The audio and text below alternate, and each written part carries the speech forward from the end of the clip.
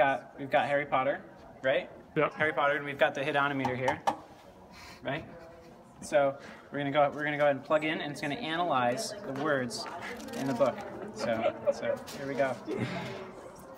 Plug it in, right? Harry Potter. Come on, Harry Potter.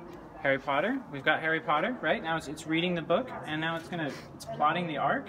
Things are getting better, Worse. right? Ah, that's oh, oh, And Oh, no, but there it is. That's important. Yep.